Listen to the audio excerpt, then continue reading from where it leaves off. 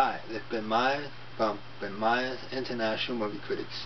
Tonight we're going to talk about the American film Star Trek X Nemesis. Star Trek X Nemesis is a 2002 Paramount Picture distribution. Ben Meyers' rating is 4 out of 5 stars. This science fiction film is about Captain Picard finds a threat to Earth. Should you buy this ticket? Yes, buy that ticket. This film works and it's a good send-off for Patrick Stewart and Star Trek. This has Ben Meyers. Have a great entertainment weekend.